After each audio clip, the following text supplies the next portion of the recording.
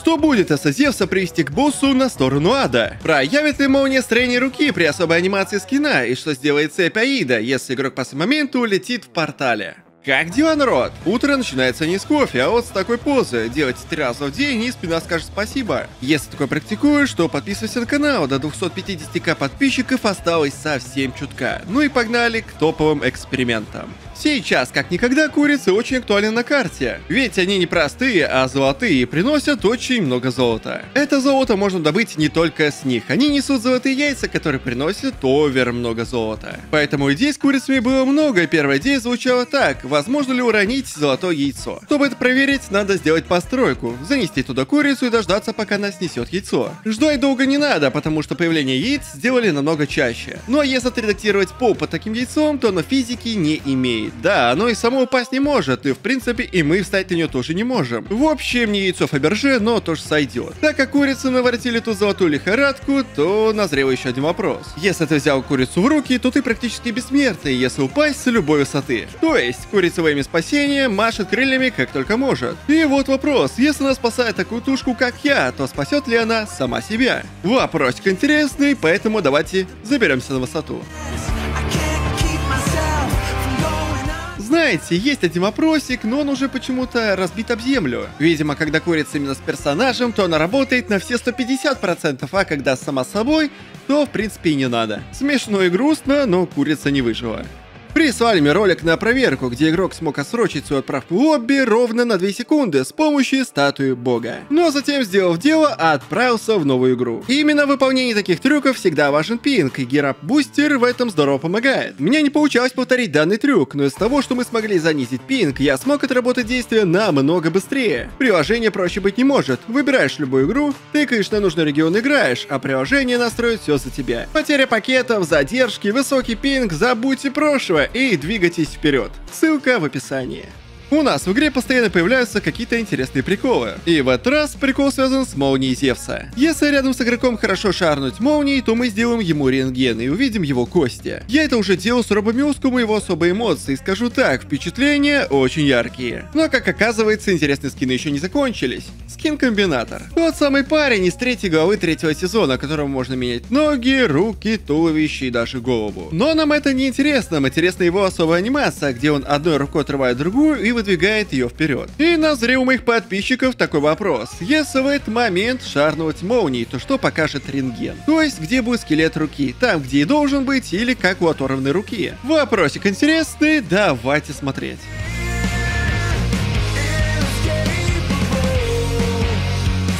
Около двух лет назад мы проводили успешный эксперимент, где узнали, где находится коллизия у этой руки. Если присмотреться, мы стреляли в невидимую руку, и урон как раз таки проходил. Здесь получается все так же, рука получается поджата, и кость как раз таки тоже там, где и надо. То есть можно сделать вывод, если нет скелета, нет урона. С выходом нового сезона у нас появилась такая система, как брифинг от тени. Это вызывание различных аирдропов и не только. Как оказывается, мы даже можем вызывать транспорт, и с этим транспортом возник у одного подписчика вопрос. Была у меня такая ситуация, где мне пришлось вызвать транспорт, и он отличался от других. Он был весь в царапинах и ржавый. Но самое что интересное, я не смог больше найти такой автомобиль. Ха, вопрос интересный, давайте раскроем тайну.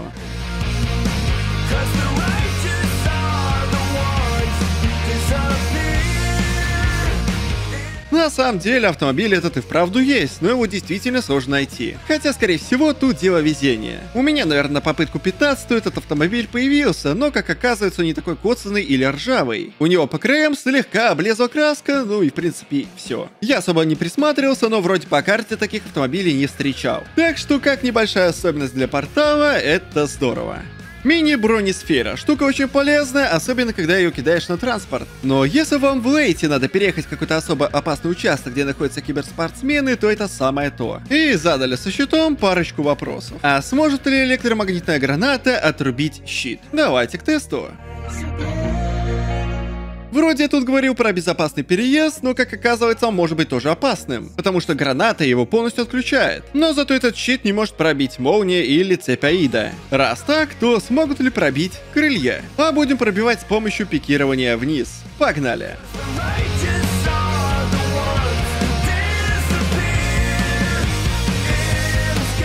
Как бы щит не старался, но такого нападения он выдержать не смог. Разницы нет, стоишь ты снаружи, внутри или сбоку сферы. Splash заденет тебя везде. Так что такую имбу как щит тоже можно пробить. Добавили снова в игру крутой режим, как Пол это Лава. В этот раз режим немножко переделали и сделали крутые анимации вулканов. То есть я к тому, что тут уже есть смысл, откуда поднимается сама лава. Ну и созрел у подписчика один вопрос. Раз лава уничтожает аирдропы, то что будет с дронами? Дроны могут появиться в тех самых желтых локациях. Ну или же стопроцентное появление дронов между приятной площадью и перемеченными полями. Там, как я понимаю, находится целый завод по производству этих дронов дронов. Раз так, то давайте сделаем тест-драйв на то, что сможет ли лава уничтожить такой дрон.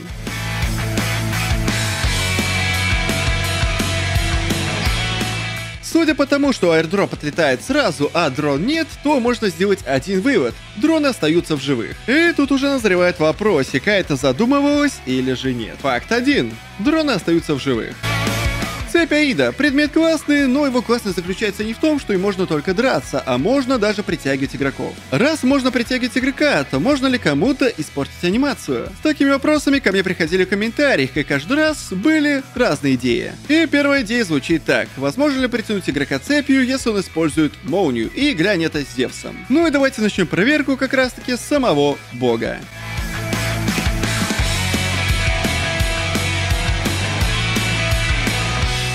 Если пробовать провернуть этот мув с богом, то как раз таки ничего не получится. Но если перейти на цель полегче в виде игрока, то это делается легко. Цепь сбивает анимацию в любом виде, если ты кидаешь первую молнию или даже последнюю. Дальше просили проверить такие места, как вытащить игрока из туалета или же портала. И давайте пойдем от легкого к сложному и начнем мы с туалета.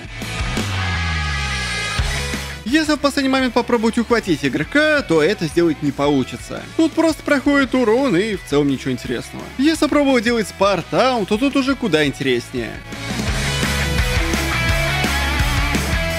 Если сделать ее идеальной в момент улетания игрока в портал задеть цепью, то анимация тоже не сбивается. Но если сделать другой тайминг и выстрелить цепью чуть пораньше до того, как игрок улетит в портал, то цепь ринется за игроком. Да, цепь в прямом его смысле пытается улететь за игроком, но не особо-то и получается. Выглядит забавно, но что еще забавнее, мне писали, что этой цепью можно рыбачить. Но приписывали к этой проверке проверить молнию и пикирование на крыльях. Раз уточняют, что цепью можно рыбачить, давайте с нее и начнем.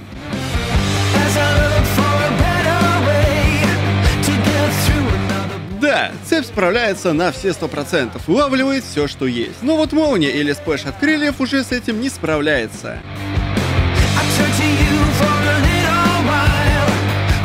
Хотя я был уверен на процентов 75, что что-то из этого да сработает. Так что удочки это прошлый век, рыбачьте цепью Аида. Ну и наконец, давайте глянем еще одну интересную тему с цепью Аида. В комментариях задали такой вопрос. А сможет ли цепь Аида обнулить падение игрока с высоты? Ну или наоборот, мы придадим ускорение, игрок разобьется 100%. Как говорится, история о двух концах. Давайте смотреть. Иногда оказывается попасть не так уж и просто. Вроде и должен попасть, но цепь пролетает очень рядом и не магнитится к игроку. Хотя тоже бывает, что работает так как надо, а вроде как и нет. Но если вы все же попадете, вы игрока спасете. Так что если это враг, то лучше подумайте, может ему лучше и разбиться. Ну и наконец, давайте проверим один эксперимент, который я воплощал на протяжении целого месяца. Я частенько проводил эксперименты, где пробовал сводить различных ботов с разных локаций. Все-таки у эпиков даже в трейлерах прослеживается какая-то история, где я ее пытаюсь подтвердить или же опровергнуть. И на этот раз у нас два бога с разных царств. У нас с начала сезона появилось две локации — Царство Тьмы и Царство Света. В каждой из этой локации присутствует по два босса. Если исходить из правильной логики, то два босса из Царства Тьмы должны быть дружными. Ну и соответственно если царство тьмы дружное, то к свету они должны быть недружелюбны. Ну а так как боссов придется тащить через всю карту, мы выберем минимальный маршрут. Ну а минимальный маршрут проходит не через Аида, а через Цербера и Зевса. Ну а тащить мы будем всеми различными способами, включая цепи, ударные гранаты, удочки и даже подкаты. Ну что ж, сведем двух гигантов. Погнали!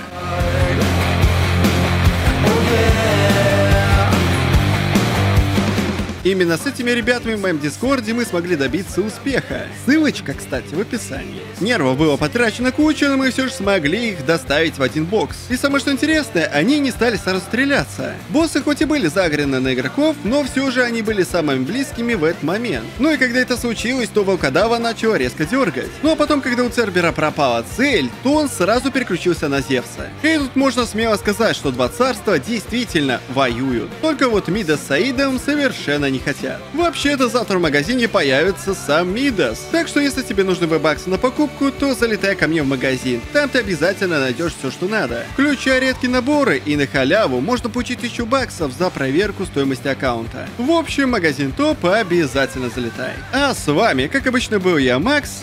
Всем пока.